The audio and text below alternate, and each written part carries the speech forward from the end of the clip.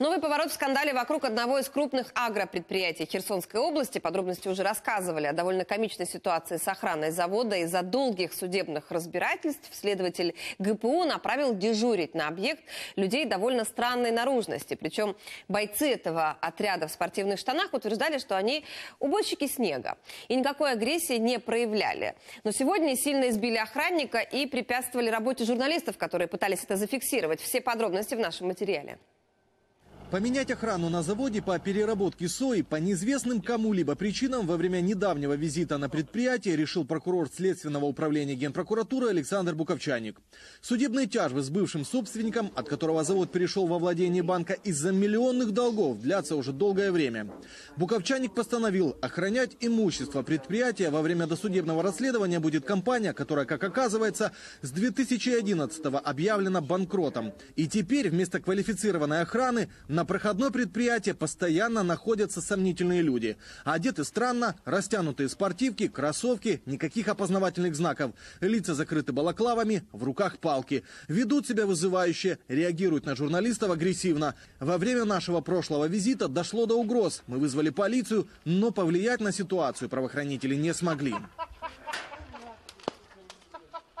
Людина цікавиться, чого його тут не пускають. Я пояснюю, якби з законної точки зору, що це так е, це ООО, це приватне підприємство, так? чи державна установа, це приватне підприємство. Так, тобто це Але охорона приватної установи нас пускає. Нас не пускають ось ці люди в балаклавах, які не а ви можете пояснити, що це за люди в балаклавах?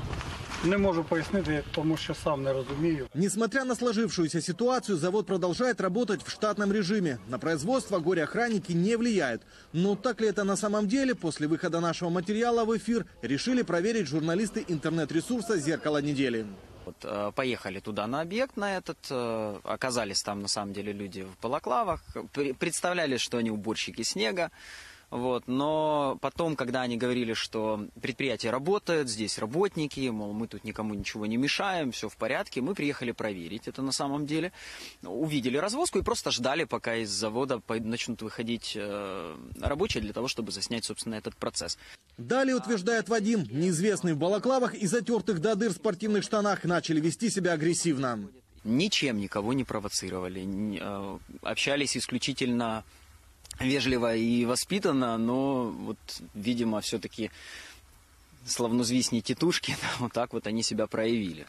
Как бы, то есть внезапно открылись ворота, они вылетели, напали на охранника, начали его, повалили его на землю, начали его буцать. Захар, охранник, сопровождавший съемочную группу, подробно показывает, как охранники, назначенные прокурором ГПУ Александром Буковчаником, напали на него, порвали куртку и били ногами. Вони повалили мене на землю, трохи попинали ногами, розірвали мені куртку. Потім ще вискочило два чоловіка, почали закривати камеру.